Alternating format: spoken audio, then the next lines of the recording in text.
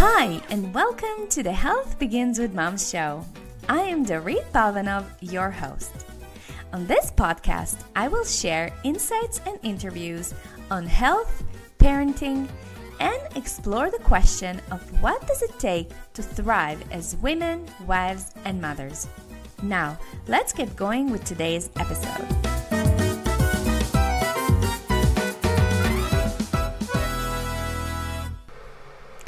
Hey there, and welcome to another episode of the Health Begins with Mom podcast.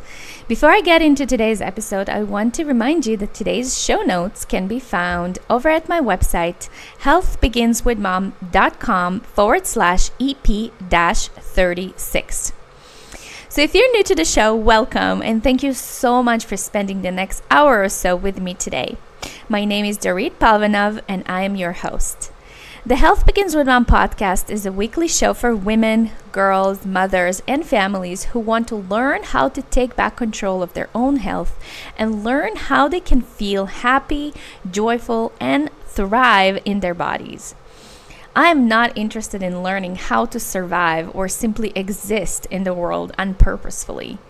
I am on a mission to heal myself give my three girls the tools and support they need to heal themselves and thrive while doing so. I believe that we are all children of God, and God wants us to shine our light onto the world, which is impossible to do if we don't own our life, our light, and if we are not healthy. And health is a big word, and I'm very aware of that. And being healthy is great, but should never be simply a means to an end. Health is a feeling. Health is simply the best state of being when you can allow yourself to be a vessel of light and shine your light on people who need you to show up as the very best version of yourself. This is what we do here. So, if this message resonates with you, I am pumped to have you to join this ride with me. So, before we get into today's interview, I have a quick announcement to make. I'm opening the doors to my signature four week program, Teach Your Kids to Eat Vegetables, which is all about teaching you how to feed your kids healthfully with more love, compassion, understanding, good sense, and no pressure. As parents, we want the best for our children. We want our child to grow healthy and live up to his or her potential. And at the end of the day, we want to give them a good start in life. But before jumping to big ideas like helping them live up to their potential, potential, which is great, can we all agree that keeping them alive is a challenge on its own? I mean, one of the most challenging responsibilities of a parent is to feed our children. But what do you do when they refuse food? When she or he can go days on end without eating or eating very little? So, does this sound familiar to you? You have carved out the time to make a beautiful, nutritionally balanced meal for your family, and then there is always this child who does not want to eat it. How about this? Your child routinely eats very little, which you find to be worrisome. Or your child doesn't want to sit at the table and he keeps he or she keeps jumping up and down and not honoring the idea of sitting down to eat. Or how about if your child eats very slowly and you find it extremely annoying, right? How about um, a scenario like this? You have to use distractions, things like TV, phone, toys, etc., to keep your child engaged and interested in food. Or what if you have to tur- to run around after your child because that's the only way he or she will eat? So there's so many things that our kids um, that our kids do, and it really is. First of all, could be worrisome. Second, it could be just simply annoying. And I think, and I'm a huge believer, and if you've been following me for a while, you know that I also have a picky eater, and I do this work because of her. you know, so there are so many things that I have learned um, as a conscious parent, you know, and uh, a lot of things in psychology that I have implemented with my own parenting. And it just helped me so much in this not so easy task of feeding my child. So in the holiday spirit, I cre- the, this course that I created, Teach Your Kids to Eat Vegetables. It's a, it's a course that is designed for parents of picky eaters, and I offer this cor- course at 30% discount. And you can find more information about this in the show notes. Um, you can find them either on iTunes, Stitcher, or on my website. So the link is again healthbeginswithmom.com forward slash EP 34 so regularly i sell this course. It's a four week course private uh, coaching course with me. Um, and it's usually sold for 5.99 canadian. Now i offer it for 419 canadian. And so if you're from the us it comes out to be about 325 dollars us all right so i really hope you if you've been sort of on the fence with this kind of with this kind of course now is your time right? So it's a great course for parents who are tired of food battles and using food as a reward or punishment. And i believe that food is life's greatest pleasures. And as parents we can give this gift to our children. And the gift this is the gift of having a positive relationship with food so if you have any questions regarding this course, please feel free to email me at Dorit, D O R I T, at healthbeginswithmom.com. Or you can also send me a private message on Facebook. I go under Dorit Palvanov. All right, so let's get into today's show. I'm so excited for today's episode. Finally, it is happening. Today's guest is someone I have been thinking about sharing with the world even before the podcast was in the plans. You guys know that I'm a strong believer that in order to thrive in this human experience, we have to learn how to regulate our emotions. Human beings are emotional beings, and emotions play a huge role when it comes to healing as well. True healing is only possible when we take back control of our own health, when we stop looking outside of ourselves for someone to heal or save us. Whether this someone is a doctor, a nutritionist, a health coach, chiropractor, or a psychic. As a human being, you have access to an unbelievable powerhouse, which is your body and energy. And when you know how to work with it and live your life in alignment with the laws of nature, then and only then can you truly heal yourself. Imagine how powerful that would be if you taught your kids to do the same. My goal with this podcast is to introduce you to the people, practitioners, and leaders from the world of alternative health and wellness that can help you take the first steps on this journey.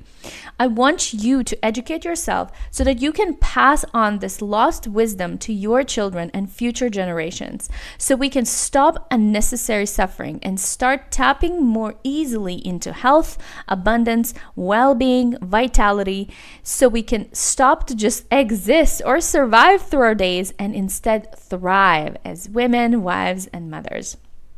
So, Dr. Uh, Alvin De Leon is my guest today, and he is a father of two uh, and a natural health practitioner and a licensed chiropractor. He holds a Bachelor of Science degree from York University with combined honors in psychology and kinesiology. He graduated magna cum laude from New York Chiropractic College in 2002 and has since continued to educate himself on various mind body therapies. It was during this journey that Dr. Alvin first learned about Dr. Hamer's research on the science of GNM, German New Medicine, and the five biological laws. He began his GNM studies in 2008 and has since fully integrated GNM into his clinical practice. With over 15 years of clinical experience, he has helped thousands of people understand the emotional component of their physical symptoms so that they can have relief and get back to doing what they love. Since 2009, Dr. Alvin has been giving monthly GNM presentations in the Vaughan, Ontario region, as well as online GNM webinars. His goal is to help reduce people's health fears and to empower them to be the experts of their bodies. And just a quick insert from me uh, I've met Dr. Alvin about three years ago in one of the business uh, summits. Um, I think it was in Toronto. And when I heard about this approach, I immediately was so curious and I uh, attended his live workshops and um, just uh, re- started researching more and more about this approach. And guys, since then, I am like I, I just practice it. This is i apply it i use it and this is how i help my kids to heal and this is how i have this is what i use to heal myself when i have uh, health issues and challenges. And i'm telling you this this is in my belief this is the right way to approach our health and wellness and well-being. So here's what we cover on the show we talk about uh, what is GNM, it's also known as German New Medicine, and why it is so important for parents. We talk about why food should not be used as a cause for illness or diseases, and what's the right approach to food according to GNM. We talk about the five biological laws. Um, we also talk about how uh, to explain cancer according to GM, GNM. Uh, we also get into talking about um, drugs and antibiotics and fever fever lowering medicine, and we talk about uh, is it even necessary according to this new health approach. We talk about chiropractic or other health, um, healing modalities, and uh, if they're even necessary when someone is applying this uh, GNM method. Um, we also talk about how to manage febrile seizures, and um, also obviously we talk about what the skeptics say about GNM because this is a fairly new approach to health and well being. So I know this is something new. Um, this is by far one of my favorite interviews. I cannot wait for you to hear uh, Dr. Alvin to just learn more about this um, this approach to health. And so yeah, so without further ado, let's jump right into my conversation with Dr. Alvin De Leon. Hey Alvin, welcome to the show. Hello, how are you doing, Dorit? I'm good. I'm so excited to have you here. Um, so, before we jump into today's in- conversation, um, can you tell us, since this podcast is for parents, uh, what are you currently loving about being a father right now? Oh my goodness, what am I currently loving about being a father? Well, I've got two uh, children, an eight-year-old daughter, and uh, just turned twelve-year-old son.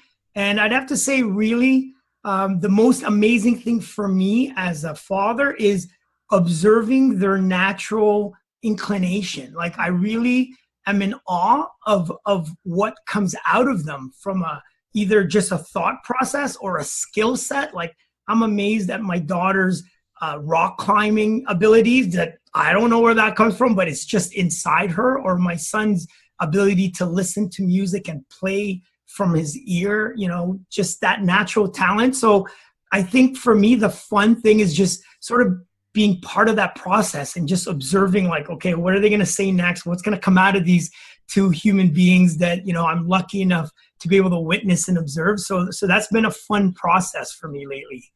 yeah, I love that. Yeah, I totally agree. I, I experience the same things with my kids. So, you and I, we have a pretty similar story when it comes to how we came to do the work that we do in the world. Both of us experienced um, febrile seizures with our kids. and so I'd love for us to start by telling the listeners how it all started for you and why you do the work that you do. Well, um, you know, my background as a chiropractor naturally, and not just uh, your conventional chiropractor. I, I, had my background was in pediatrics. Uh, I did a fellowship for a year after graduating in pediatrics. So I was working with pregnant uh, parents. I was, you know, my goal was to learn as much as I could in terms of raising a healthy family before we had our own child. And as you can imagine, uh, you know, doing everything that you can do to, to raise a healthy child, following all the right recommendations nutritionally, uh, lifestyle wise, uh, when my son was probably just before two years old.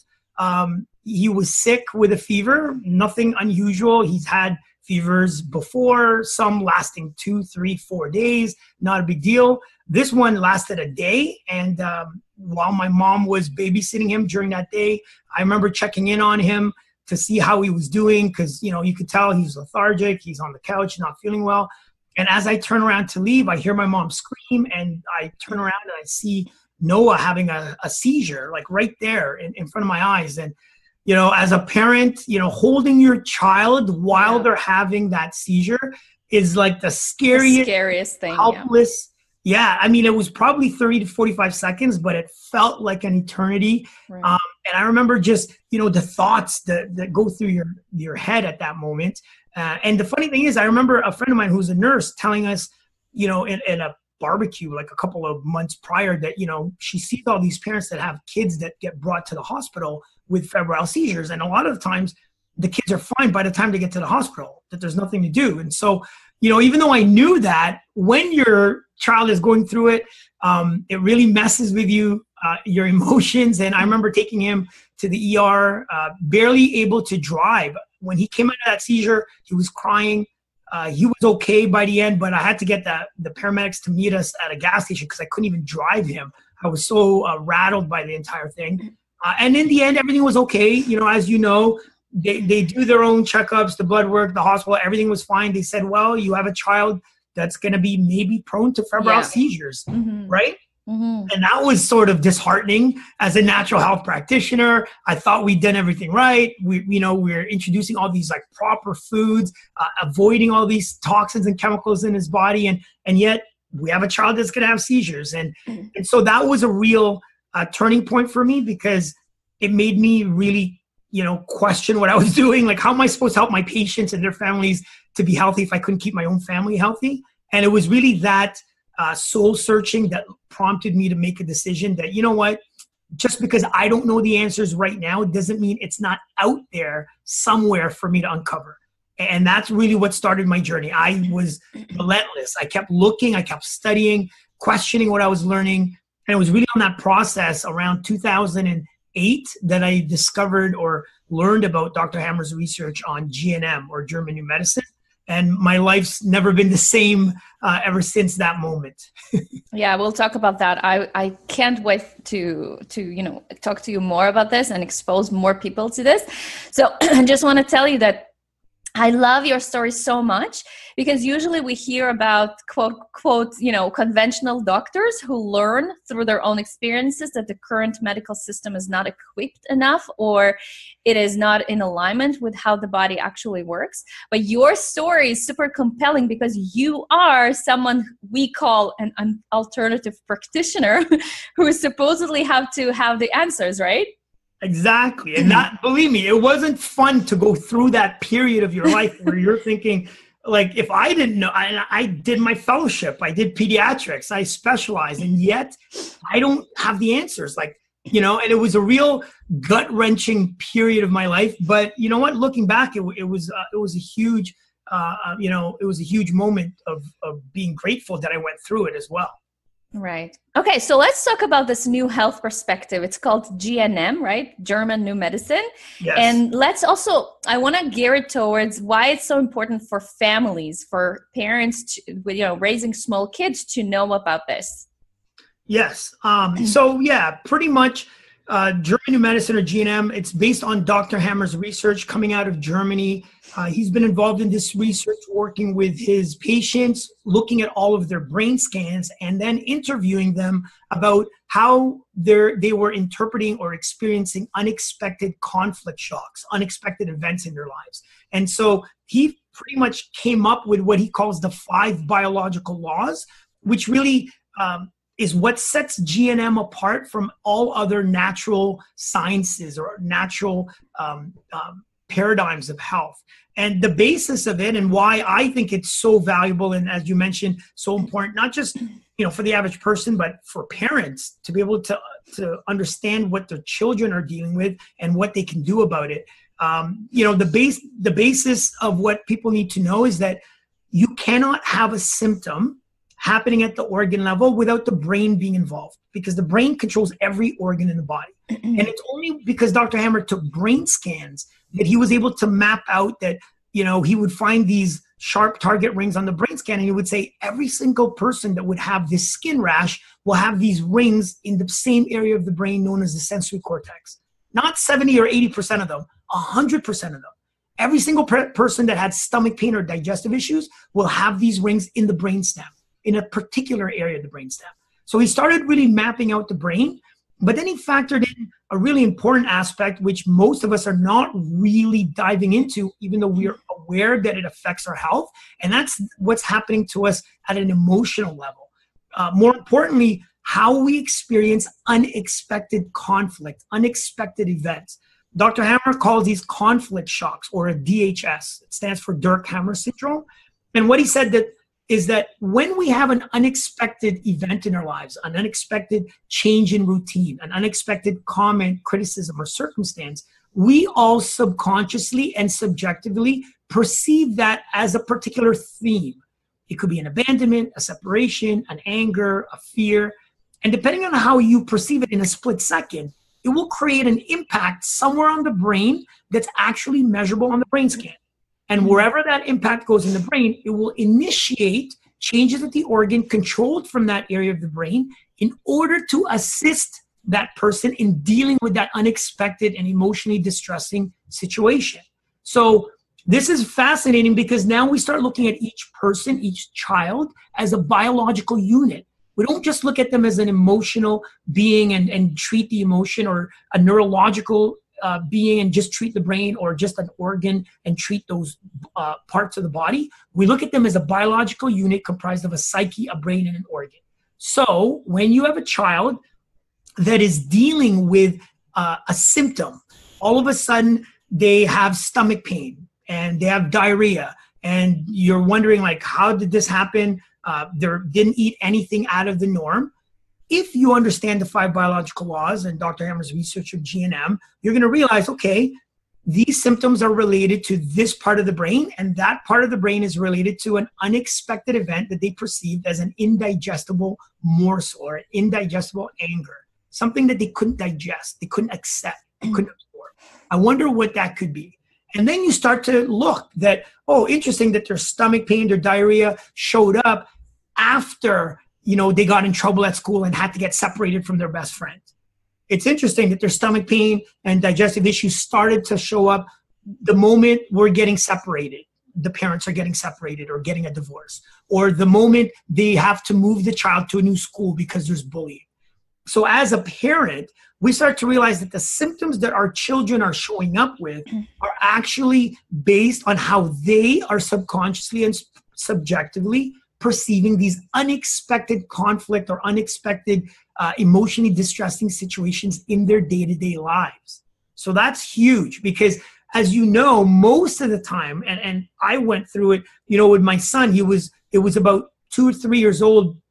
That's how old he was when i learned about gnm so my daughter was fully raised with the knowledge of gnm whereas my son it was about two three years later before i could apply it to him.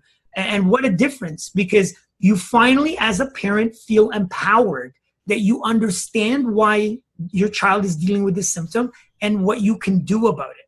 Right. And I can tell you that since I've uh, heard you speak about this, I think it was uh, three years ago, we, my husband and I, we've been practicing and trying it out, and it actually works. And I think the best, at least what, uh, you know, the what we've gained the most out of it is this you know how you feel guilty as a parent especially when they're very little it's like oh i've you know it's they're having this because i did something or i fed them with something you know or um, whatever like you feel that sense of guilt, guilt but yes. yeah and then when i learned about this and that that that piece when you mentioned that you know it's about how they are perceiving the world and that actually is the reason why they are having their own response to you know to that perception. It is so liberating as a parent right? Exactly. it's, it's it's like it's so great. and and that's that's a great point that you bring up right? Because and it's important for your audience to to hear this is that in the beginning when you first learned this so you're saying that you know my my daughter's uh, diarrhea and stomach pain, and now she's diagnosed with a gluten intolerance and she's got colitis, is because I moved her to a new house in a new neighborhood. Then they feel guilty, right? But this is what I tell parents, and that's how it's natural, normal to feel that in the beginning. But exactly what you just mentioned is that we as parents cannot predict how right. our children will perceive, perceive yeah any unexpected event so you really i mean it's hard enough for you to determine how you experience something unexpected let alone how your three kids are going to experience it right so this is what i always um, mention to people that instead of feeling guilty you actually feel liberated empowered that you now get to know each child and one of my classic examples is you can have three children And when you tell them now it's winter here in Toronto, it's like, listen, if you don't get your boots and your coat on right now, I'm going to leave you because we're going to be late. And you could scream and yell that and threaten your kids that you're going to leave them if they don't hurry up. One child could actually hear that as uh, take it at face value. Oh my gosh, they could feel an actual separation conflict because I don't want to be separated from my mom and dad. They're really going to leave me. And that's a shock for them that affects the part of the brain that controls the skin. You can have another child that can actually experience that as a fear. I'm scared to be left alone. I can't believe they're going to leave me. And that can impact a part of the brain that affects the bronchial or the larynx. And then you can have another child that, yeah, right, you're going to leave us. I don't care. And they don't even get a shock. Right. So when you have those three kids, a week later, a few days later, one kid breaks out with a skin rash, another child with a chronic cough, and another child with no symptoms, you start to, with the knowledge of GNM, understand the vulnerabilities and sensitivities of your children. So now you know that child number three doesn't care. She gets no symptoms. She's not afraid. She's not scared of being separated. I can yell and threaten her all I want. She never gets affected. Child number two is very sensitive to separation or to uh, or is very sensitive to feeling like she's going to left be, be left behind and she gets a skin rash that breaks out every now and then. And child number one could be uh, somebody that has a lot of fears. And so he always has a chronic cough or he's now got asthma symptoms. So you start to realize that i got to talk to each child a little bit differently knowing what their sensitivities are. To me that's the ultimate conscious parenting yeah. And so absolutely. as you know, as your audience is listening, this is how empowered you feel. You realize that I can be harder on number three. I got to be a little cautious and maybe more descriptive for number two, and I can't even bring it up with number one. And that's how you start to treat your your uh, children based on their needs. Yeah, and you know, I have to ask you this question because you know I come from the world of food and nutrition. So, and you know, there is this I think one of the worst things to teach and educate parents about food is when, and I think, I, I, don't know if you remember this, but we had that conversation back then, back when. Um, and it's about how, let's say, dairy you know if you eat dairy you're you know it's going to cause this and this symptom or if you eat too much of this too much of candy too much this like you know th- this co- this is going to cause that whatever symptom. So yes. what do you have to say about you know how where is GNM um, sort of how how can that resolve that kind of conflict for parents? Well, and this is a very sensitive topic, as you can imagine. I have a lot of friends that are nutritionists, that are naturopaths, that are homeopaths, where really the basis of a lot of the therapies are based on food elimination, on cleanses, on sort of cleaning up the diets, right? And I, you know, I get it. Uh, it is important for us to eat clean to avoid certain chemicals to, to eat as, as clean as we can have a variety eat locally. All those things are great. Why? Because they give us energy. They raise our energy. Now one of the things that differentiates the gnm perspective when it comes to food is that the fifth biological law actually states that every so-called disease or biological program comes about because it's a meaningful and significant biological process in assisting that organism in dealing with an emotionally distressing situation or an unexpected event. So these symptoms that we experience, that skin rash, that cough, that stomach pain, it serves a biological purpose in helping that organ that's affected to function better until that person is no longer in that stress state or that conflict is resolved. So when you look at the body as an intelligent organism, when you appreciate that there's these built-in mechanisms that's assisting the body in healing, then we start to realize that this idea that eating poorly or introducing quote unquote bad foods into the system is causing a disease doesn't fly. Because now we look at diseases as meaningful biological processes that something unexpectedly happened that shocked you. So now where does this put this whole concept around eating and nutrition when it comes to GNM? Well, as you mentioned, as a parent, you focus less on what they're consuming from a food perspective, and you focus more of your energy on how they're responding emotionally to unexpected events, which to me is liberating, number one, because as you said, you can read you can get overwhelmed with all of the content online uh, in, in all sorts of blogs and all sorts of media telling you the right thing to feed, how much of the right thing. One minute, you know, strawberries could cause these skin allergies. The next minute, well, but you need strawberries because they contain certain, uh, you know, carotenoids, flavonoids that are important for the body. And so it's it's it can get overwhelming and confusing. But instead of focusing on that, yes, you still want your child to eat healthy, to eat in moderation, to use common sense, but you're now conscious of their emotional state if they get a symptom after an unexpected event, after a change in routine. And to me, in terms of long term relationship developing, you will actually have a better connection with your child because you know how they hear things, you how they perceive things, you know how they're interpreting things in their day to day lives. And if you're a conscious parent and you're willing to put in the effort, you can actually cater to your child's vulnerabilities that allows them to feel understood. Mom gets me that she doesn't yell at me about these things, even though she yells at my brother about that. Because I know that if she yelled at me, I would feel so devalued. I would feel, you know, like I'm the worst person on earth when she does that. And those types of conflicts could lead to joint pain or juvenile arthritis. And so you start to see how it's so important uh, in terms of just connecting with your child when you focus less on what they're eating more on how they're experiencing these unexpected events based on the symptoms that they present with i love that I love that. so you mentioned uh, the five biological laws, and I feel like you know. I think in order for for people who listening to sort of create that kind of structure and um, understanding, can we talk about them? Can you mention them? Sure, sure. So, we, you know, I'll do a little uh, quick encapsulation of the five biological laws. I just mentioned the fifth one. Well, the first biological law states that every so called disease is actually a biological program that's initiated by an unexpected conflict shock that will impact the brain and will cause changes at the organ level. So, again, whatever symptoms we are experiencing all originate from how we subconsciously and subjectively in a split second perceive an unexpected event. Okay, so that's the first biological law.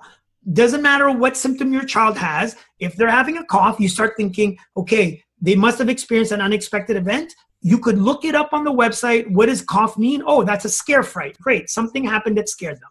If they have a skin rash, what does that mean? That's a separation. Something happened that they perceived as a separation or fear of separation. What's stomach pain and diarrhea? Oh, that's an anger. Something happened that made them angry. So you now start to realize that the symptoms originate from an unexpected conflict shock. That's the first biological law. The second biological law, which is really important, is the law of two phases. It states that every biological program, once you have a conflict shock, runs in two phases. The first phase is a stress phase, known as the conflict active phase. During this phase, you already have the impact in the brain, you already have the changes in the organ, but 80, 90% of the time, you do not feel those changes. Okay. The only thing that we can observe during this conflict active state is that the child seems stressed. How do we know? Their blood vessels constrict when they're stressed, so they're going to have cold hands and cold feet. So when your child has cold hands and cold feet, and you're you're inside a warm house, it's probably highly likely, especially when they're a baby, that they're conflict active. There's something's happened that stressed them already. Okay, so that's the first phase. They could have interrupted sleep in the first phase. They wake up at one or two in the morning, can't fall back asleep. They don't have much of an appetite. You're having a problem feeding them. And like I said, they've got cold hands and cold feet, but they have lots of energy during the conflict active phase. So most of the time, because our current model of health doesn't have two phases, we think everything's fine, right? Because there's no not a lot of symptoms in the conflict active phase. The moment the conflict gets resolved, they now enter the second phase, which is the healing phase. And just like anything in the body that's healing, right? When you sprain your ankle, you get a cut, fluid goes to the area that's healing. The fluid going to that area will create, create swelling, inflammation, pain, discharge, and this is when the symptoms start to show up. So the healing phase is actually when most of our symptoms show up. The diarrhea comes in the healing phase, the cough comes in the healing phase, the rash comes in the healing phase. It's also in the healing phase that because of the blood vessels constricting in the active phase, now that they relax, the blood vessels dilate. Now you have warm hands, warm feet. Now they have a fever. Okay, so most of the symptoms that we know of, the headaches, the dizziness, the lightheadedness, the pain, all happen in the healing phase. The fever, the fatigue starts to kick in. And then by the end of that healing phase, they start to get their appetite back. So again, it's important to understand those two phases because most of the time we're going to realize that, okay, um, my child just got off the bus and is complaining of stomach pain that tells me he resolved because the stomach pain comes in the healing something that maybe made him angry today at school so now i can communicate that to him i say to him okay what happened today that made you angry and as a tip for all you parents when you're trying to implement this in your life in your family no matter what they're going to say when you ask that that's what it is so you don't have to say well are you sure are you because you want to train your children to be in control that they know that oh well, what happened at school today? The teacher didn't pick me when I knew the answer. Well, maybe that did make them angry. So you tell them, well, that's why you have your stomach ache. That's why you're having a diarrhea, because that means you're not angry anymore, because that comes in the healing phase. So now you need to rest. You need to take it easy. You might be tired, but everything's okay now. But do you see what I mean? How that made you angry when the teacher didn't pick you? And they might say yes. Now you're training them to understand themselves and their body. Okay. That's the second biological law. The third and fourth, I don't go into it too much. It really goes into the science. You know, the third biological law talks about embryology and human evolution as the foundation of medicine. And it, it really goes into the detail of why that part of the brain affects that organ of the body is because they share the same original embryological germ layer. Okay, so it goes more into embryology and, and evolution. Uh, and that's the third biological law. The fourth biological law is the beneficial role of microbes. So that just goes into the fact that in the healing phase, if the body needs to break down tissues that are no longer needed or it needs to repair ulcerations that happened in the conflict active phase, bacteria serves a role in doing that. So bacteria are beneficial in helping us during the healing phase of any biological program. So most of these infections that we're going to be diagnosed with or your kids will be diagnosed with is actually happening in the healing phase. So important to know so that you're not panicking and you can understand sort of, you know, again, your child's vulnerabilities. Whenever it's around Halloween time, they always get a cough. So what is it that they're scared of? What is it that they're sensitive to being scared about? It's not necessarily that lung infection or the viruses or the bugs going around. It's going to be a scare fright. Okay. So that's the fourth biological law, the beneficial role of microbes. And the fifth biological law, as I mentioned earlier, it's the fact that all of these biological programs, all of these so called diseases that we've been uh, educated on, are actually meaningful, significant biological programs um, who serves a purpose in assisting the organism in dealing with an emotionally distressing situation. So it makes it that these are not things that we want to avoid or prevent, that these are things that are meaningful, that are actually helping us. Instead of focusing on the symptom, we can now focus our energy on the conflicts and making sure that they're resolved, and the body will know how to heal itself properly. I love this. I love this because you know it, it because it empowers us parents to act as detectives instead of feeling powerless, helpless, or get into this fear response.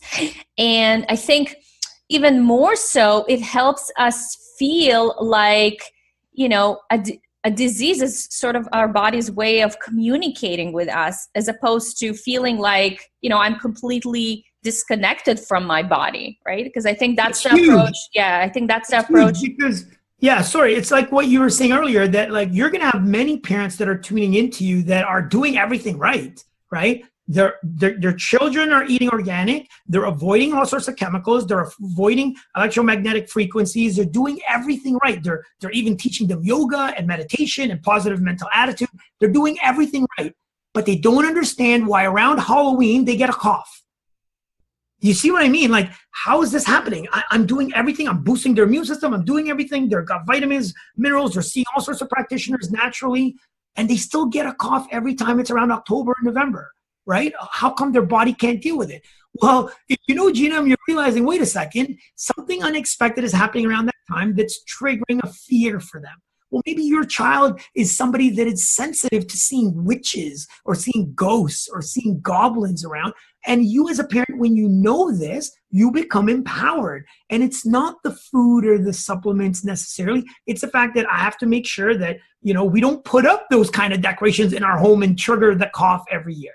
So, do you see what I mean? Now, yes, as a parent, it makes your life to, to me so empowered and liberated that like you don't have to focus on what everyone else is focusing on and to be honest even focusing on those things it's not really helping. A lot of times people are still unsure of why right. their children are getting sick or getting symptoms right? Yeah yeah and i and i and, and i love this so much because it helps us to stop using food as a punishment or reward because it's so ridiculous right? It's it's and i and i've seen this again and again and again with the people i work with it, that kids are literally are afraid of food they're either yes. afraid of food so a lot of kids um, a lot of parents come to me because their kids are unable to gain proper weight or the contrary is true where kids are gaining a lot of weight which is an indication right because we get into this emotional um, component of things that it's something they're hiding from probably well, there's a lot. There's a lot of factors, but like you said, the biggest issue in terms of even the clients that you're probably seeing is that I believe long term we're priming our children to be disempowered. That their health is an external thing. That there's something out there that will make them healthy and something out there that will make them not healthy. And for me, I believe that that paradigm is wrong. I believe that it's got to come from inside. That I want my children to believe that when I quote unquote get sick, it's not because of something I did out there or something I was exposed to. It's because of how I perceived the, something unexpected and that was distressing to me. And then I get to learn about myself. Why did I get angry? Why does that always make me angry? Why does that make me feel abandoned? Why does that make me feel afraid? And now you can work on yourself. And, and I think you know that's a very powerful thing moving forward is that we as human beings become the experts of our own bodies. And i really believe that that's the shift. Fun, the fundamental shift that has to happen is that i don't care how many years experience you have as a practitioner dorit. I don't care how many years uh, Al, dr alvin's been in practice. I don't care what top doctor in a hospital is telling me about my body they do not know what my body needs because right. they don't live in my body. I know what my body needs.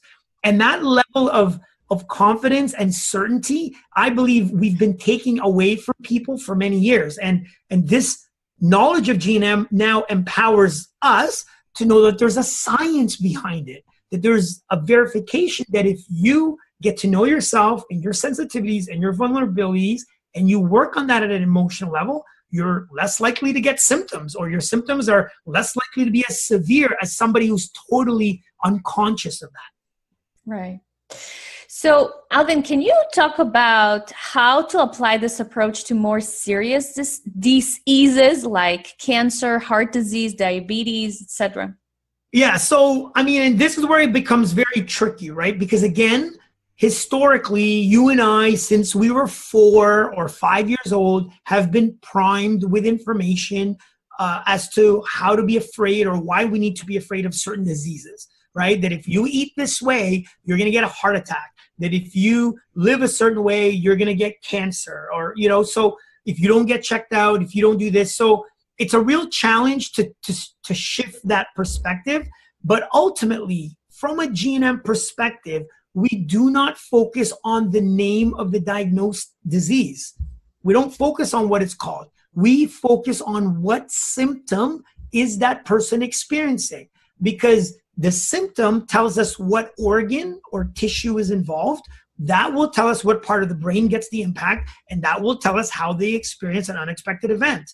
Now, whether that change in the organ of somebody that has an ongoing anger issue for many years is diagnosed as a benign tumor or growth, or whether it's diagnosed as a colon cancer, is really based on how intense that conflict is for that person. So, again, the biological process is a biological process. That growth is there to assist that colon to digest what's been hard to digest for many years. And so it's going to produce extra digestive enzymes to digest that figurative morsel that's making that organism angry.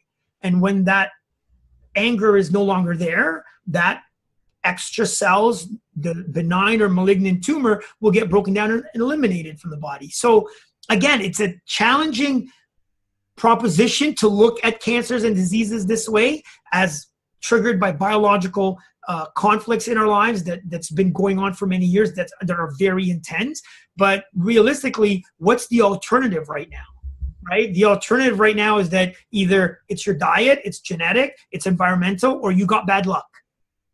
And so again, if you look at all of those, it's disempowering that there's nothing you can do. And so um, whether it's what we would call a serious uh, disease or diagnosis versus a mild one, from a GNM perspective, according to Dr. Hamer's research, these are all biological programs that are meaningful in assisting that person in dealing with an unexpected, emotionally distressing situation. In fact, you know, as you research about GNM, if you go to the learninggnm.com website, most of Dr. Hamer's original research in 1980 81 was on cancer patients and heart attacks. Most of his verifications were on heart disease. And so, again, it started with the more serious uh, diagnoses, and, it, and he just implemented it for all other uh, issues from skin rashes to, to back pain and neck pain and digestive issues. Hmm. And I'm curious, what what is your take on medication, drugs, antibiotics, or even things like Advil and Tylenol? Because if most of our body's health issues are emotional in nature, is it even necessary to medicate? Well, here's the thing. I think that at some level, and again, Dr. Hamer says this, not just me personally, but according to what Dr. Hamer says, again, he was a medical doctor that discovered all of this research, is that there is a role for medication, for uh, painkillers, for uh, antibiotics. Because again, even though the microbes are serving a purpose in the healing phase, if that's a big shock for many years, there's going to be a lot of bacterial activity in that healing phase. And those symptoms are going to be very severe and very uncomfortable. So, taking medications, antibiotics help decrease the intensity of our symptoms in the healing phase so that we can be comfortable while we're healing. So there is a role. And again, this is one of the things I want your audience to re- realize is GNM is not like it's a natural versus medical sort of, you know, paradigm. This is something that technically should be integrated as the future of medicine that this is how we now communicate. We don't break it down into separate parts. You come in and we're looking at you as a biological unit. So yes, it's more imperative that you understand that this so-called stomach infection or digestive infection is because you had an anger issue at work that was going on for five years but now it's resolved because you got that promotion or you were you're now in a new job and so now it's intense symptoms you could take whatever is prescribed by your doctor to help minimize those symptoms while you're healing and your understanding that this is related to that work issue should help you to to alleviate um, or close that biological program quicker. So yes, uh, it's not a matter of you know, well then if it's all in your head, no, you still need assistance, whether it's remedies, whether it's supplements, whether it's medication, whether it's hands-on therapy, whether it's uh, energy therapy, because those things help make you comfortable during the healing phase, while you as the person going through the biological program understands what it's about and you can actually help you know make sure that that issue is closed that you can let go of the fears let go of the anger let go of that fear of separation okay so yes it's it's really a combination. Again it really depends on what you need. I think the bottom line message that i want people to understand is that this is about self empowerment this is about you taking personal responsibility. This is about you knowing that intuitively i know that i need to take this in order to get through this. Or intuitively, I know that I can handle it without anything because I, I know what my body needs. That's ultimately what it needs to come down to. GNM is just the, the foundational platform that allow gives us the confidence to be able to make those kinds of intuitive decisions because there's a, a, science that can verify the certainty that we have that our body is working with us during these symptoms. Yeah, I'm glad you're bringing that up because uh, in the intro I introduced you as a chiropractor, and so I was curious where does that get into the picture right now for you? Because if most health issues are sourced in emotional unease, is it even necessary to do physical adjustments to the oh spine? yes. Yes. So here's the thing that i need and this is good because i'm actually working on um, in the new year creating a way that i can teach this to practitioners. And in the beginning i'm going to start with body workers like people like massage therapists physios chiros because you've got to remember that when somebody has neck pain right that came out of nowhere again we're not including physical trauma here. Like you just wake up dorit tomorrow and you can't move your neck. And you're like oh my gosh it's killing me. I, you know i didn't do anything yesterday. Why am i waking up with this neck pain? And automatically we're going to think oh it must be your pillow the way you slept. You know you must have done something. Again it's it's almost insulting to the body that the body doesn't know how to sleep right? Even though you've slept a certain way your whole life why is it only you know tuesday morning you have neck pain well, knowing GNM now, we realize that, okay, neck pain has to do with an intellectual self devaluation. That means before Tuesday, something happened unexpectedly and you perceived it as, I'm not being smart enough. I made a mistake. I was so stupid. That's not fair. And if you get the pain Tuesday morning, remember what we said most of the symptoms come in the healing phase. That means Monday night, you resolved that issue. And so the way you work with this is that when you look at, let's say, on Sunday, your child tells you, Mom, you forgot to sign this note, and because you didn't sign it and give it to me, I can't go on the trip on, you know, Friday. And now that's a shock to you. But by Monday, you call the teacher and they say, No, don't worry. Um, I'll make sure that she gets to go on a trip. You relax about it Monday. Tuesday morning, you wake up with the neck pain. That neck pain is there because there's actual changes happening to the tissues of the neck. When we devalue our neck, our intelligence, and it affects the neck, it's almost like we're telling the brain is telling the body, you're not strong enough. This is too weak. Your intellect is too weak. You're making mistakes. So we need these muscles to tear and we need to rebuild them so that they're stronger and smarter than before the stronger they are, the rebuilding process happens in the healing phase. Similar to when you go to the gym, right? You haven't worked out ever. You're going to do a two hour workout. You're tearing all the muscles in your body, but you're not going to feel it because of your adrenaline. Two days or three days after the gym, everything hurts, right? That's when there's swelling, there's pain. And the thing that's important here is that those are real changes happening to the tissues and the muscles. They're not imagined, oh, it's in your head that the pain's there so having somebody that you can go to that will massage it, that will do acupuncture, that will do physiotherapy, chiropractic, uh, hands-on craniosacral energy will actually help make these tissues more relaxed, improve circulation. So it will facilitate the healing. But only when you understand that this happened because of that issue where I felt I made a mistake regarding my daughter, will that neck pain go away quickly. Okay, because if you don't make that connection and you think it's your pillow, that neck pain could linger. Every time your daughter, um, uh, you know, brings home something for you to sign at school, that could be a trigger. Every time there's a trip coming up, that could be a trigger. Every time you get a phone call from the teacher, that could be a trigger. And then now you go from having a short, quick biological program that could, could have been done in one or two days to now it becomes a chronic neck issue that you have. Mm. Okay, so yes, the therapies that are available. Again, this isn't a way to sort of incorporate GNM in what you're doing, but it's the foundation. You understand that my body's already in healing when you're going to your chiropractor or massage therapist, and that you already have worked on what the conflict was, but now they're going to put their hands on to help facilitate that healing and make you more comfortable. Right. So there's right. a role for almost every type of practitioner. It's just the way we have to uh, practice changes a little bit. So now, when you get better in one or two days, it's not because of I have magic hands that made it go away. If you didn't come to me, it may have gone away because the issue is resolved. Do you see what I mean? So we start to com- we have to communicate a little bit differently with the patients so that they understand that oh my body was taking care of itself. I'm just coming to you so that you can facilitate it, make me feel better and more comfortable, so I can go to work, so I can do what I need to do and so that I don't keep rehashing that devaluation that I'm not smart enough, that I always make a mistake, that I'm a bad parent, and that avoids you having chronic neck issues. Right, right. So what I hear you saying that is that when a person understands that health approach, it helps them to actually heal faster, as opposed to you know this whatever it is to turn to turn into uh, something chronic that. Yes, absolutely, absolutely. And this is the thing that I always say, right? Like if you uh, are you know your child starts having stomach digestive issues and you think it's the milk you think it's the gluten you think it's the sugar you're going on a whole other path that is now you know going to lead to chronic issues with their stomach which means now every meal becomes potentially stressful for that child.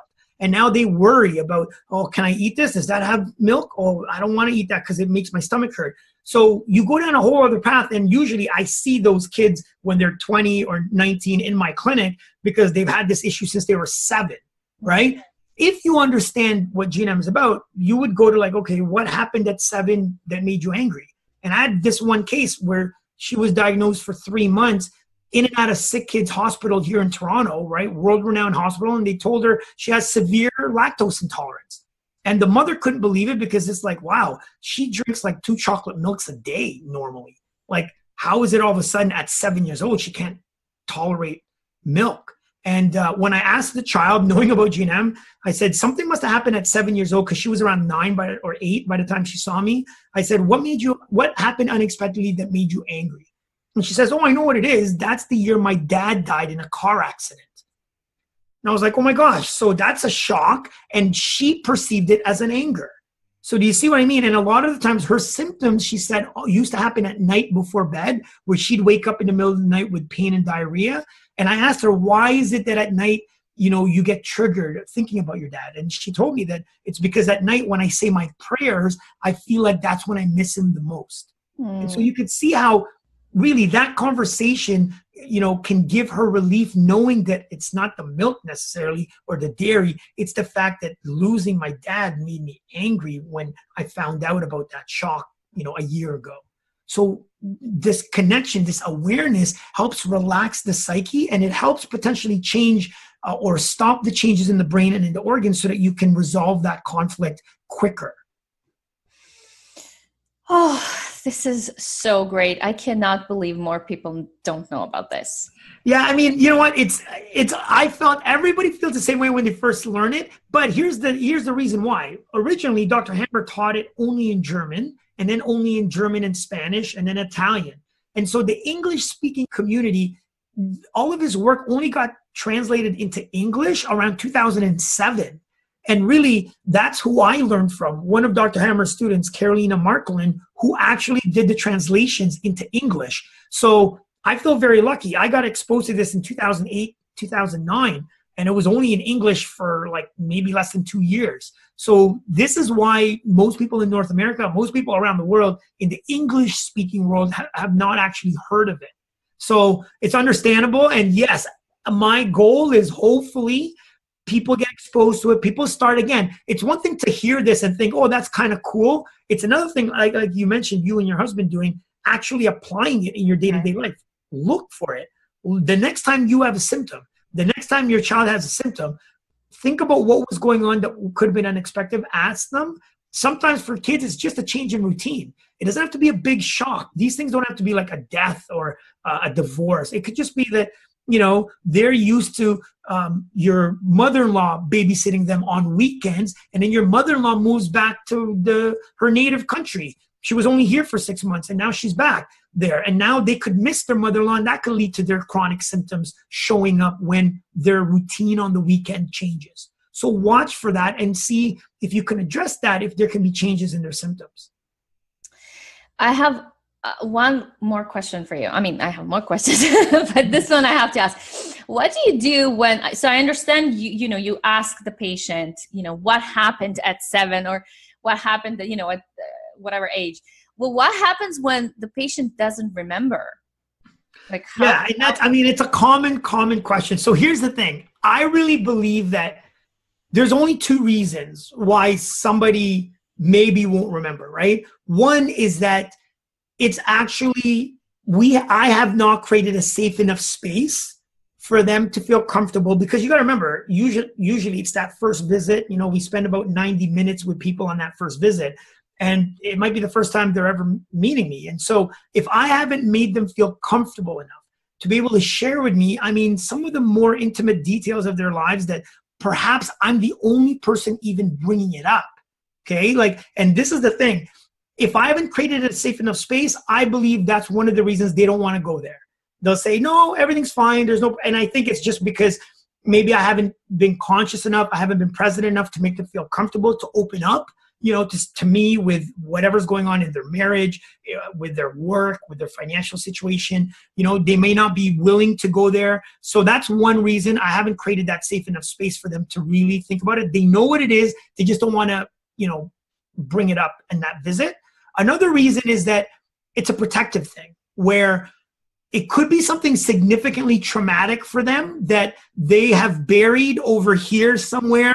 I know it's there, but I don't want to dig it up because it's too it's going to bring up too much for me and so we have to be very careful about that because if it's something that's gone on for 20 30 years right and it's an intense conflict shock you can imagine as we said in the healing phases when the symptoms show up and usually those symptoms are proportionate to the intensity of the shock and the, how long the shock is.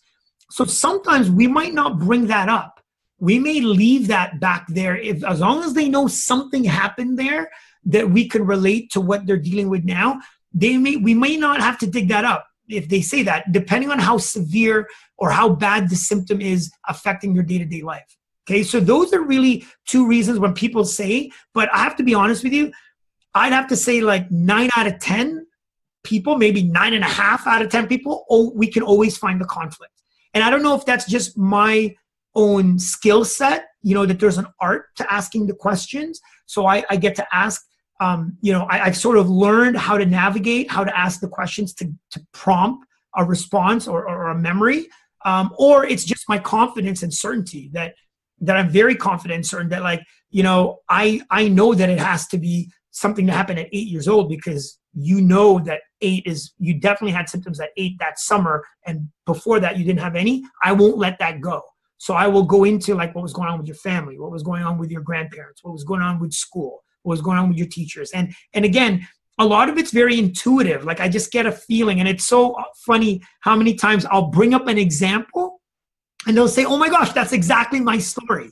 And and i think a lot of it is just i really try to tune in to their energy and sometimes that example pops in my head and it's relevant to what they're dealing with so you know for me personally i mean i can't speak for other gnm practitioners i really feel like nine times more than nine times out of 10, we're able to help them figure out the conflict. The times that we're not, it's one of those two reasons. I haven't created a safe enough space, so they don't want to really share it with me, or um, it's something significantly traumatic that's probably best left, you know, buried over there because of the potential for severe symptoms that will come up as they resolve or recall it.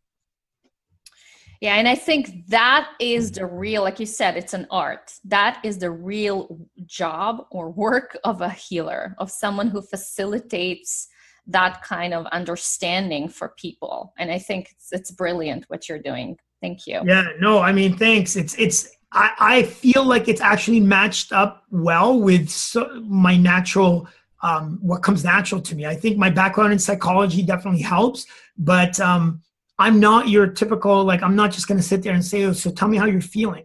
Mm-hmm. Like, I talk a lot, as you can hear, and those of you, I make interviews very easy, but I feel like what I'm saying, or as I'm talking, people are listening and thinking, and it actually stimulates a memory for them. Yes. So I think I've sort of had that natural talent, if you want to call it that, my whole life, where, uh, you know, if I don't care about anything, I, I don't talk a lot when I'm talking about something, though, oftentimes it it stimulates something in people to think about something relevant to them.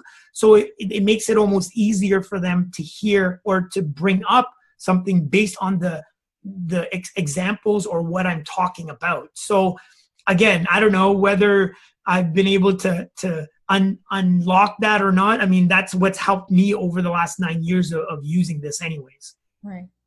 So I also wanted to ask you about febrile seizures. I know it's not really related to GNM specifically, but you know, as you know, two of my kids had them, and I know that they're not da- dangerous. But still, can you talk about what parents can do to prevent them, or okay. even maybe if you can even if you can address what to do in when kids have fever.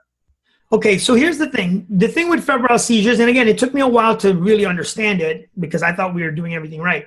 But in gnm because we're looking at each person each child as a psyche a brain and an organ really you start to learn that most of this quote unquote serious conditions are events that are taking place at the brain level you know the brain is the most important part of the body. It's the reason that it's completely encased in bone. Uh, you know people might think the heart's important the nervous system yes but the brain really makes everything go. And so it's the most protected part of the body. And so what dr Hamer found was that when we go into healing in the healing phase fluid will go to the area that's healing to protect it. So if you're angry and you're not angry anymore you resolve the anger you're going to get fluid going in your stomach you're to get bloating cramping diarrhea vomiting, but fluid is also going to go to the part of the brain that controls the stomach. Now, because of the fluid going into the brain, and if that impact was big versus a small impact from a small shock versus a big shock, there's going to be a lot of potential fluid going in the brain. And when there's a lot of fluid going to a particular area of the brain, that's going to lead to potential complications. And this is why in GNM, there's this thing, you know, we talked about the two phases the conflict active phase, then the healing phase in the middle of the healing phase, when the swelling in the brain gets too big, there's this thing called an epicrisis. An epileptoid crisis or an epileptic crisis is really uh, a counter regulatory mechanism that the body undergoes in order to get that fluid out of the body, to squeeze it out to protect the brain. Now, an epicrisis can look very scary because in order for the body to do this, the person will have to faint or pass out. So fainting is an epicrisis, a stroke, a heart attack, an asthma attack, uh, a seizure are all epicrises. So it's the body's way to protect the brain because too much fluid has happened there so that the person will collapse and it could be shaking. The seizure tells us that it's maybe uh, the motor cortex of the brain is affected. So that could be where the conflict is. It has to do with the child feeling stuck or any conflict near the motor cortex. If the swelling is too big, it pushes into the motor cortex, which will cause an epileptic uh, type seizure in the healing phase, in the epicrisis. After the epicrisis, when that fluid is squeezed out, you enter phase B of healing. The, the person or child is going to be fatigued, and there's going to be a urinary phase. They're going to pee or they're going to wet themselves. And you know, if you've ever witnessed somebody having a seizure or a stroke or a heart attack, a lot of times when they come to, they might wet themselves on the spot or they've got to go to the bathroom. And that's that release of that fluid in the brain. So knowing all of this, number one, you don't panic because you understand it's a it's a mechanism that's needed to f- squeeze that fluid out. One of the things that we can do is to put ice packs in the head or cold cloths because we all know from a physiological standpoint that when there's swelling, we put cold or ice, it will decrease the blood vessels to reduce the swelling. So you can reduce the swelling in the brain in order to minimize potential, you know, uh, severe uh, epicrisis. Because yes, can somebody still, you know, pass away or die from like a heart attack or uh, a really severe stroke? Of course, if there's a massive impact and that person goes into healing, that's a lot of fluid there. You combine that with the person having a water retention at the same time. So that has to do with what we know as a kidney collecting tubule program or an abandonment program. So they're retaining water. So now you have extra fluid going to that area that's healing. That could be fatal. So again, knowing GNM we understand that it's the brain we have to protect. So one of the things that we can do whenever our kids are having a fever or, or not feeling well in general, which we do a lot, is we put ice packs on the head. So if they're an infant or a baby, we didn't use ice packs. We would get a cloth, run it in cold water, wring it out, and then place it on their head while you're cuddling with the child. So, you know, comforting, close to mom, especially, so that they don't feel abandoned, is a big uh, part of the healing phase, and anything cold in the head to reduce any swelling in that area from a GNM perspective is going to be one of the most helpful things that you can do uh, to reduce the impact of the healing phase. So those, you know, for parents that are listening, I mean, again, from Dr. Hamer's research, from what he's saying, using ice packs to the head during any healing phase uh, could be beneficial in reducing the significance of those symptoms. But that now goes to explain like your kids or, or my son, that epicrisis has to do with there must have been a shock. Either they felt stuck or it was somewhere, an impact somewhere close to the motor cortex. They resolved it. The swelling, because again, I didn't know about this with my son, so he was laying flat a lot of the times when he was sick. Now that you know, you keep them a little bit reclined or upright, so gravity helps to drain that extra fluid. And then we always put ice packs on their head. So once I learned this, my son hasn't really had another, he's never had another seizure since. And, and it's just every time they get sick or, you know, they're dealing with something, there's the ice pack in the, uh, on the head. So we have gel packs, like at least three, four, five of them in our freezers all the time. So that's one thing that you can start doing. Perhaps go buy a gel pack if you don't have one, or like I said, just a cold cloth that you could run over cold water and wring it out and then put it on their head. And the funny thing is, with babies or infants, you'll notice that they will let you put it on. Like it soothes them because it decreases the brain pressure because right. of the cold. And then when they don't want it anymore, after three or four times of changing it and putting another one on, they'll move it out. And it's funny, the moment they don't want it anymore, you'll feel their temperature and it's almost like their fever starts to break. So it's amazing to, to see that it's almost like the child knows that they need it. So then they don't fuss when you put it on initially uh, until they get used to it. And then after a while, they don't want anymore because they're probably fine. Oh, so a lot of information yeah. to try to uh, process. And I know it's going to be very different for a lot of your audience and what they're hearing. This is why, you know, I encourage them to read about it, learn more about it, uh, and then test it out. I mean, really, the next time there's a symptom, look yeah. and, and really try to, um, you know, confirm it for yourself yeah and guys i can attest to that. I've been uh, this is what i've been using and since i've learned it and it actually works. It actually works.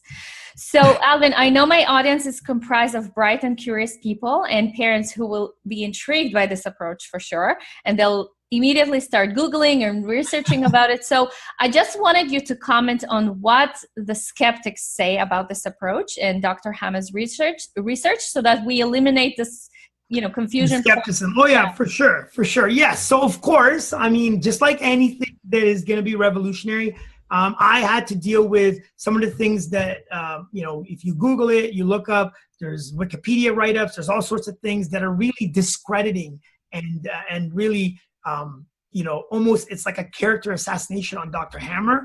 And a lot of that comes down to the fact that when Dr. Hamer found out about the research and he tried to get the University of Tübingen, where he was a medical doctor at, to do a postdoctoral thesis on it, they didn't want to do the research. And so, which was unheard of at the time. Dr. Hamer had to get the university um, to follow with a court, he had to get a court order to try to force the university to do the research, and they just wouldn't touch it. And a lot of the things that were happening at that time was that Dr. Hamer was um, confirming the research with groups of medical doctors, uh, cardiologists, certain people treating certain cancers, and they would test it out. They would look at the brain scans, they would confirm it. And every time he did that, it was being verified like, you're 100% accurate. This is 100% correct. And he was even telling um, some of these doctors, based on the brain scan, what their patients presented with without knowing what you know never meeting the patient and giving those doctors more information than they learned about the patient so it was a real threat to the industry at that time uh, and one of the things that really makes this or what really slowed the, prog- the progress of gnm and why it's not you know your average practitioner doesn't know about it is somewhere around the 80s dr Hamer apparently got wind of the fact that in israel Jewish medical doctors were using GNM to treat Jewish cancer patients. But if they were not Jewish, they were being treated with conventional medicine, conventional treatments. And that really angered Dr. Hamer because apparently there was evidence of this and there was proof that this was being done. And he fought against it, saying, like, this isn't right. This is meant for the world. This is not just for you know jewish patients now obviously there's clips of him ranting about this that's all over youtube or something which now puts him in the light of being anti-semitic that like here's a guy that's you know hates the jews and this whole thing and so that's now come up as a way to sort of attack dr Hamer's character and so there's been so many roadblocks like this and, and again having learned directly from his inner circle. So I never met Dr. Hamer, but I, I met a few of the people within his inner circle that actually worked with him in those early years that he taught how to read brain scans that, you know, I, I visited in Austria. And, you know, once you get the real story behind it, for me, it's kind of, um, it's ironic because here we have research that will revolutionize our entire view of health. I mean, globally, it's a real potential shift that can happen, but it's it's sort of mired. It's sort of like you know uh, scattered with all of this controversy and politics, and and so it's almost like I've come to appreciate that it's going to take a person that's willing to go beyond the superficial sort of stuff that you're going to read and the ability to confirm it for yourself you know? And i tell people all the time it's like the sweetest nectar of the best fruit in the world is hidden amongst thorns. And, it's covered by thorns. And so only a few people that are willing to get cut and bruised to reach in there to go beyond all the external stuff will get to really taste the sweetness of that nectar. And i really believe that's what gnm is. It's it will revolutionize the future of medicine i have no doubt. Whether that's going to happen you know in one or two or three generations it's going to take its time. But i really believe we're on the cutting edge. We're in the first 40 years of a pioneered pioneering shift in how we're going to look at health. And and i feel very privileged to be part of that and i feel very honored that i was able to sort of like sift through all of the politics get at that fruit and and use it you know i cannot deny what i've seen every single day in my clinical practice um, the results, the case studies that I've that I've published and posted. And so for me, if you're hearing this and you're going to Google it, and you're going to see all this negative things out there, which is understandable. Like it, it will be out there, and it's almost like the only way to discredit Dr. Hamer's research was to go after him, because the research, anybody that has the scientific mind to actually take the time to learn it and confirm it and validate it the research is untouchable. I mean, there's so many things that I've learned in 15 years of practice, um, modalities and techniques that are wild, widely accepted that have so many holes in it that they, the instructors can't even ask answer your questions when you're challenging it, right? And I haven't found that in, in nine years with GNM.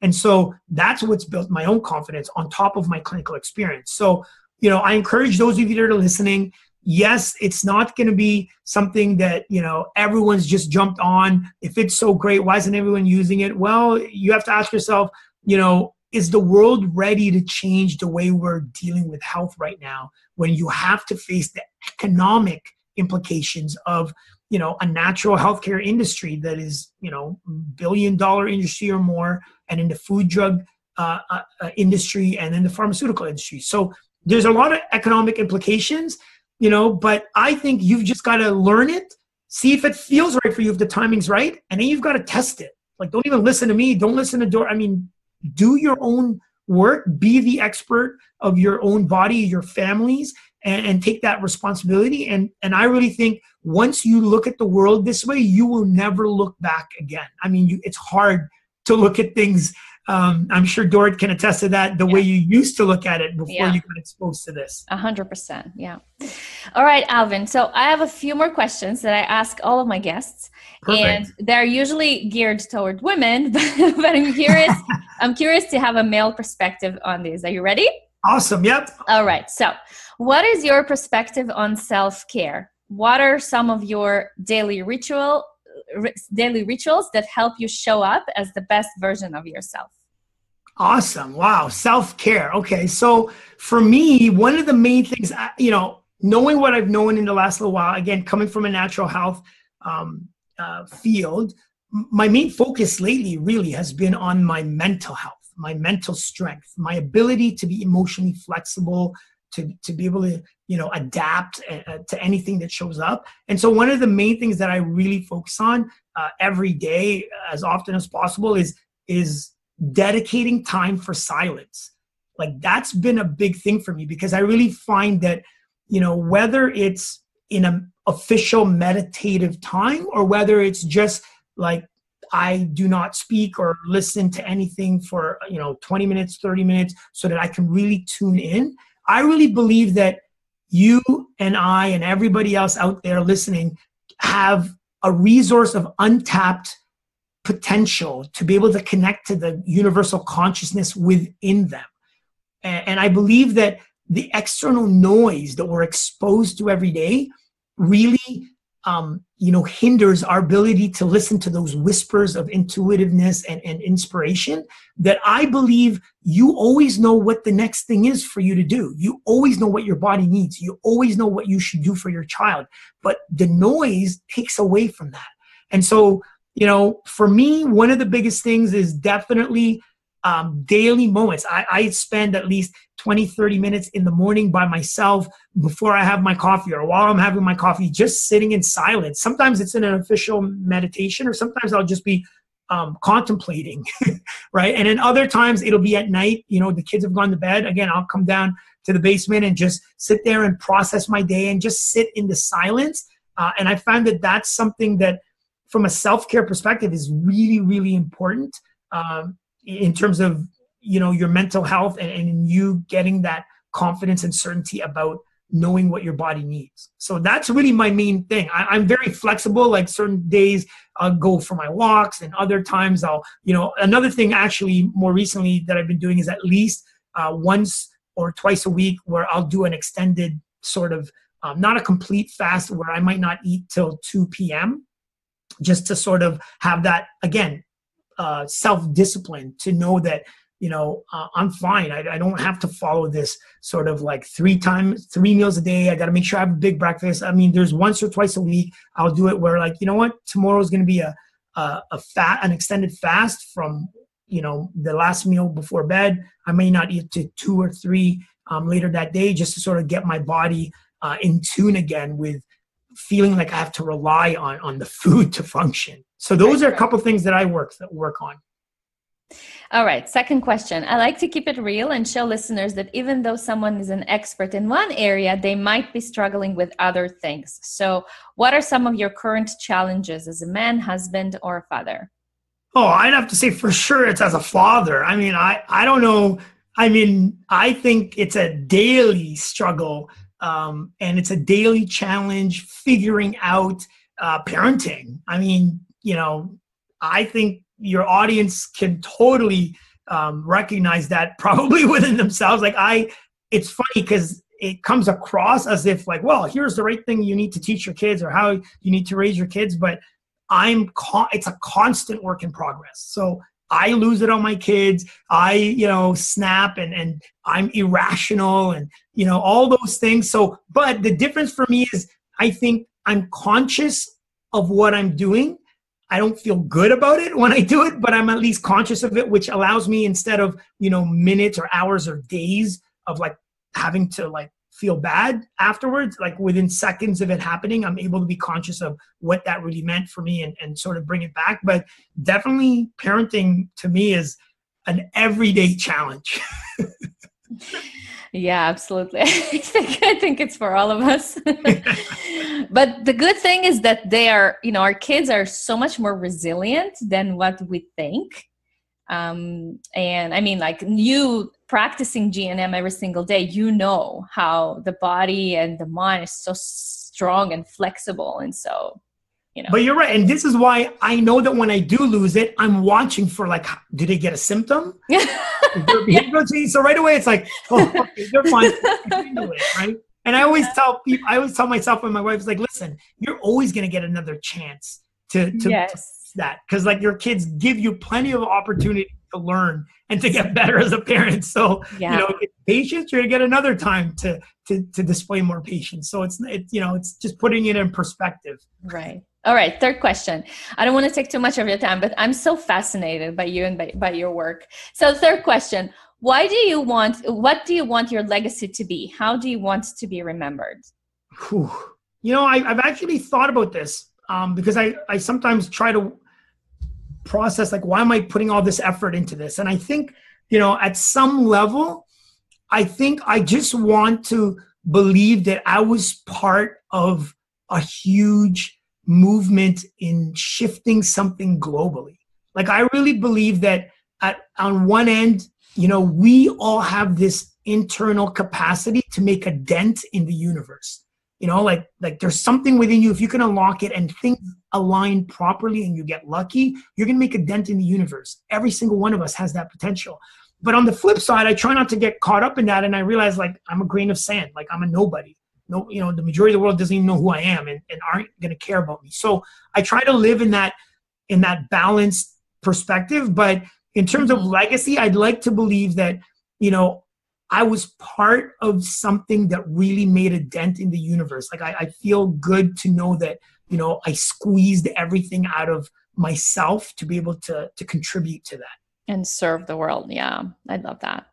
All right, Alvin, any last advice for parents? Well, um, you know what, Dorit, and everybody listening right now, I really think the main focus uh, with the knowledge of GNM is understanding about adaptability understanding about emotional flexibility that the key to health and longevity lies in your ability to change your expectations to change your mind. And and i believe that the sooner that you can teach your children about you know what this is how you wanted it to go it didn't go the way you, expected what are you going to do? How are you going to adapt to that? The sooner they're they have that ability to adapt to things that don't go their way, let go of that expectation and change their mind, I think the more successful and, and the better off they're going to be moving forward just in life in general. So that's my final thing. Get comfortable with changing your mind and letting go of those expectations so you can adapt. Mm. All right. So before I let you go, can you tell everybody where they can find you? Where can they connect with you? Where can they, people learn more about GNM? All of that. Yes, so definitely from uh, the English uh, website on GNM is learninggnm.com. I've actually got uh, about 64 case studies on there. Uh, that has all the information. As you know, Dorit, there's so much in there. It can yeah. be overwhelming. So, but it is the resource center for GNM in the English speaking community. So definitely, those of you interested, uh, go to the study guideline on that website so you can start your journey on learning more about this. Uh, for me, to connect with me, I've got my website, dralvindeleon.com. Uh, please register uh, for my Adapters Digest newsletter that comes out every Monday. I think it just came out sometime earlier this morning, uh, yeah. where I try to give you tidbits of information, videos, clips, um, just to enhance your knowledge and continue to bring you value in terms of how to bring GNM and personal. How to apply it, yeah. That's yeah, in your day-to-day life. Yeah. Yeah, so the the newsletter from my website, and then you could just follow me on uh, Instagram, Facebook, uh, Snapchat, Twitter. I've, I'm I'm on all those as uh, Dr. Alvin De Leon, I believe, and there I'm just posting one minute little videos. Again, just introducing it to people, uh, certain conditions. I'm also on YouTube now, so you could follow some of those YouTube uh, videos to um, you know take what's on the website and give it to you in bite size, sort of two three minute clips to make it easier for you to apply. Alvin, this has been such a pleasure, such an honor. Thank you so much for the work that you're doing. I know that this is not easy. yes, Dorit. I know, I know. I know. Not- I can't believe it's been three years uh, since we first met, and yes. and you know it's been amazing. I'm glad to hear that you've been uh, benefiting from the information and that it's changed your uh, yes. your oh my gosh it definitely changed our lives. And you know just my conversation with my husband and like everything became so i don't know much more relaxed you know even this this even this food situation you know and that's what i'm trying to pass on to parents you know stop stressing so much about food. It's not the reason. This is not where you know that's not the cause of you know whatever distress you're going through you or your child are going through. So thank you so much.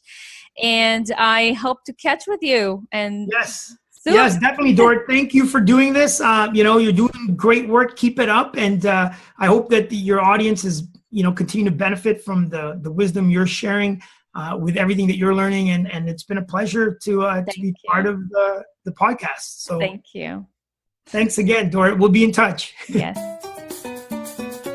Thank you for listening to the Health Begins with Mom show. I love hearing from you, so please post your comments and questions over at healthbeginswithmom.com forward slash podcast. If you love the show, please share it on social media and in your real life with other moms who might enjoy this content. And if you have a burning question or topic you'd like me to hit on the show, just drop me a line at dorit at healthbeginswithmom.com. And if you love this show and really want to support it, please go to iTunes, write a review, and subscribe. Thank you so much for listening, and I'll catch you next time. Much love and many blessings.